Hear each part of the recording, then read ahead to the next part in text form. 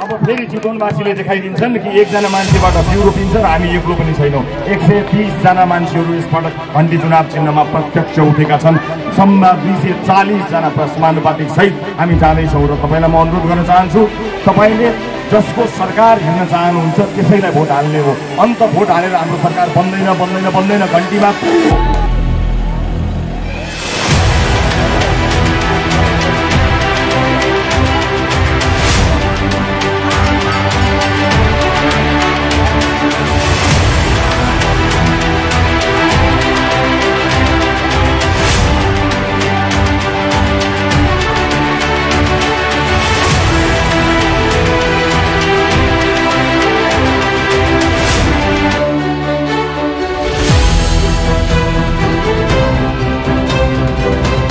ठाउँमा जानुपर्ने छ र हामीले विभिन्न मुद्दाहरूमा काम गर्नुपर्ने छ।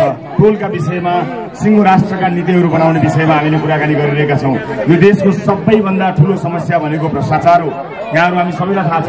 र अहिले हामीले सबभन्दा पहिला काम गर्ने भनेको भ्रष्टाचार नियन्त्रणमा काम गर्ने हो। हामीले भ्रष्टाचार नियन्त्रणमा काम गर्ने बित्तिकै भ्रष्टाचारको ज्वरो उखेलेर फाल्ने बित्तिकै तपाईँले यो यो समस्या समाधान भएन नि भन्नुभएको छ नि त्यो सबै ती हाँगा बिगाहरू। जब ज्वरो उक्लिन्छ ज्वरो उक्लिएपछि केही पनि बाँकी रहँदैन त्यसले गर्दा अहिले भ्रष्टाचारको विरुद्ध बोल्ने कोही पनि मान्छे छैन। नेपालमा प्रतिपक्ष छैन।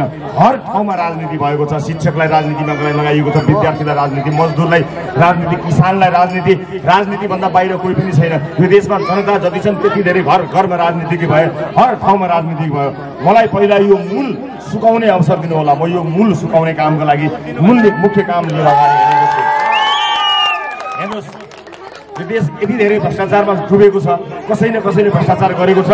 तर त्यो भ्रष्टाचार कसैले कसैको पोल खोल्दैन कसैले कसैको विरुद्ध बोल्दैन कसैले कसैको विरुद्ध नबोलेपछि अनि अहिले उनीहरू एउटा मान्छे गएर के हुन्छ र भन्न खोजिरहेका छन्? एउटा मान्छे गएर ब्यान्ड बजाउँछ ब्यान्ड हेर्नुहोला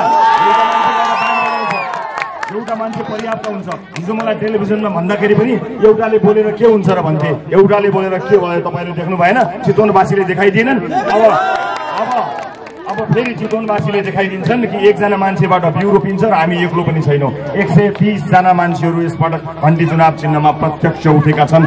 सम्म दुई सय चालिसजना समानुपातिक सहित हामी जाँदैछौँ र तपाईँलाई म अनुरोध गर्न चाहन्छु तपाईँले जसको सरकार हेर्न चाहनुहुन्छ त्यसैलाई भोट हाल्ने हो। अन्त भोट हालेर हाम्रो सरकार बन्दैन बन्दैन बन्दैन घन्टी मात्रै हो। घन्टी बाहेक समानुपातिकमा पनि घन्टी प्रत्यक्षमा पनि घन्टी। त्योभन्दा बाहेक तपाईँले एकपटक पाँच मिनट समय दिएर हाम्रो वेबसाइटमा हाम्रो बारेमा खोज्नुहोस् जिन्दगीमा तपाईँले कयौँ सत्तरी वर्ष दिनुभयो अरूलाई। मलाई मा पाँच मिनट मात्र पाँच मिनट कस्ता कस्ता उम्मेद्वार उठेका छन् समानुपातिकमा हेर्नुहोस् त। श्रद्धाले शिर झुक्ने अनुहारहरू भएका मान्छेहरू जसले राष्ट्रिय अन्तर्राष्ट्रिय ख्याति प्राप्त गरेका मान्छेहरू आएका छन् हामीले चुनेर ल्याएका छौँ। एकपटक सोची हेर्नुहोस् र त्यस कारणले भोट हाल्नुहोला र यहाँको टोलको सवालमा हरेक टोलसँग म काम गर्नेछु। आज चुनाव प्रचार गर्दा घर घरमा पुग्न भ्याउँछु भ्याउँदिन थाहा छैन। घर घरको समस्या अब मेरो हो तपाईँको होइन। मैले काम गर्ने हो मैले जिम्मा लिने हो। मेरो काम हो कि छोराछोरीहरूको भविष्य हेर्नका लागि नीति बनाउने काम मेरो मेरो जिम्मा हो। साना व्यापार गरेर बस्नु भएको छ ब्याङ्कले तपाईँलाई हैरान पारेको छ। काम गरेर खाने वातावरण बनाउने काम मेरो मेरो जिम्मा हो। तपाईँका लागि काम गर्ने जिम्मा मैले लिएको छु। र यो टोलका विषयमा एउटा टोल विकासका लागि कुनै एउटा ठाउँ छैन भन्ने कुरा मैले बुझेको छु। त्यसका लागि के गर्न सकिन्छ? म पूर्ण पहल गर्छु। म इमान्दारपूर्वक पहल गर्छु। म इमान्दारीपूर्वक काम गर्छु। हुन त हाम्रो संयन्त्रले तपाईँहरूलाई तपाईँका हरेक समस्या समाधान गर्नको निमित्त हामी यस्तो चुस्त टिम बनाउँछौँ। कि सम्भवतः तपाईँको धेरै जिम्मेवारी हामी लिन चाहन्छौँ। टोल विकासका साथीहरूको धेरै जिम्मेवारी अब हाम्रो काँधमा हालिदिनु होला। तपाईँले आफ्नो टोलका लागि जाग्नु भएको राम्रो कुरा एकदमै सही छ। तर केही जिम्मेवारी अब हाम्रो काँधमा हाल्नुहोस्। हामी पनि तपाईँसँग सँगसँगै लागेर काम गर्नेछौँ। यहाँ आवश्यक पर्ने ठाउँको बारेमा म समन्वय गर्छु। मेरो जिम्मेवारी हो। म जे हुनसक्छ जे हुनुपर्छ त्यो गर्छु। तर मबाट गलत कामको आशा कहिले पनि नगर्नु होला। तपाईँको चुनाव प्रचारमा यति हिँडेको थिएँ। तपाईँको लागि यति दौडेको थिएँ। त्यस कारण मलाई यो पद दिनुहोस् भन्नुभयो भने म दिन्न म सक्दिनँ म गर्दिनँ।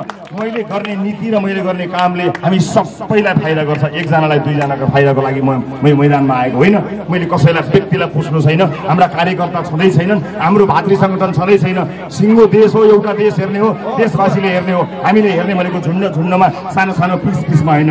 अब सिङ्गै देशको हितका लागि हामीले काम गर्ने हो। अहिले म यहाँहरूबाट बिदा माग्छु। म निरन्तर सम्पर्कमा रहन्छु। अब यो टोल यो ठाउँ मेरो भएपछि यहाँका हरेक समस्या मेरा हुन् तपाईँका होइनन्। काम मैले गर्ने हो सल्लाह तपाईँले दिने हो। हस् जय होस् भोट केमा?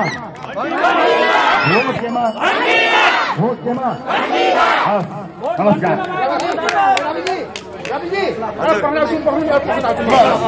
यो संहिता र यो प्रदेश चाहिँ फाल्नुपर्छ। टोलदेखिको लिएर मान्छे भट्टा फाल्नुपर्छ यो टोलका नि भट्टाले फाल्नु निकाल्नुपर्छ। रविजी टोल भट्टाले डुबिहा टोल हेर्नु हेर्नु तपाईँले हेर्नुपर्छ टोल उठाएको छैन एउटा पनि मा हामी बोली एउटा व्यवहार गर्दैनौँ त्यसलाई सुधार्नुपर्छ भनेका छौँ हामीले एकजना मान्छे पनि प्रदेशमा उठाएका